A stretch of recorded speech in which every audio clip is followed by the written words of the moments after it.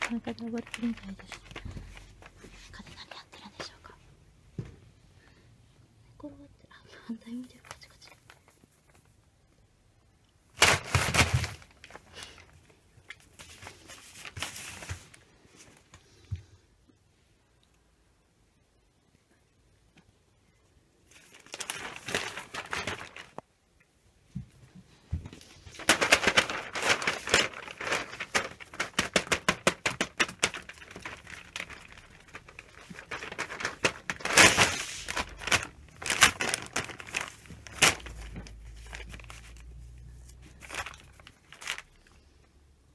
てんてんてんてんこれ。これ。よいしょこれ。うん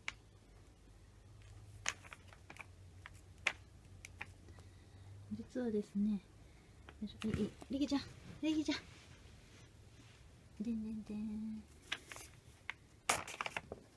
実はですね今日ですね実はリキちゃんがですね家から脱走したんですよ今日昼間もうめちゃびっくりしましたね洗濯物干しに外に出たらなんか知らないうちにリキちゃんも後ろからついてきてたみたいで全く外に出てるの知らなくてねあの洗濯物終わって家に入ってきたらリキちゃんいいひんしで家の人に「リキちゃん知らん?」って言っても知らんって言うからおかしいなと思ってベランダ見たらベランダの下にいるんですよね。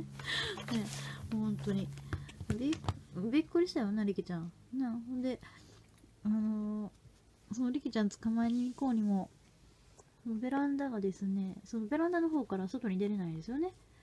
玄関が逆方向なんでちょうど反対側なんでで出られないので玄関から出てあの捕まえに行ったらもういないいないですよね。で、えーどうしようと思って家の周りうろうろうろうろして見つからなくて。でまあもともといたところにもう一度探しに行ったらリキちゃんの鳴き声がするんですねなら何かな？どこ行ったのかな？と思ったらよそのお家のベランダに入って泣いてるんですよね。うん、本来わわけわかんないですよね。うちんち帰ってきたらいいのに、人んち行って帰出てこれなくなって泣いてるね。ねえ、もう本当に見つかってよかったけど、うどうしようかと思ったらリキちゃんいなくなって、なあ。いなくなったらどうしようかと思ったな、本当に。あんな声なんから。何やってんですか、あんたは。ね。それ何ですか？リキちゃん。うん、本当に。今まで何回ぐらいかな？ここに来て3年ぐらいかな？3年ぐらいで。えーっと、何回ぐらいかな？多分3回ぐらい脱走してるかな。3回ぐらい脱走してるけど。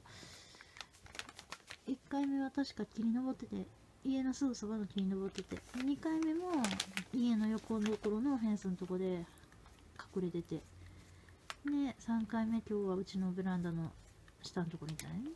うん、だから、まあ、脱走したからってそんな遠くには行かないんですけど、ただ、ね、あの、猫ちゃんって、家猫ちゃんですね。家猫ちゃんって外に出てって帰ってこない理由が、なんか外に出た時に、なんかびっくりすることが起きた時に、そのままどっか走って逃げた、逃げちゃうんですね。で、その逃げた時に、その自分がどっちに逃げたか覚えてないから、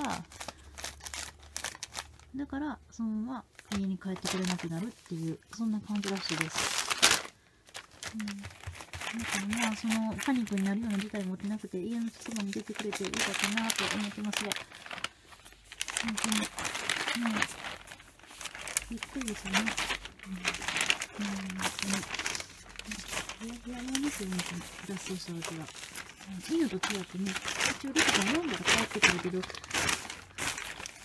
読んだら帰ってくるから、家の中だったら読んだら来たりするんですけど、やっぱりそこからなかなか読んでもね、来ないんでね、興味あるものがいっぱいあるから。うん。だから、やっぱりちょっと心配ですよね、外に出て行ってしまうと。はい無事発見してよかったです。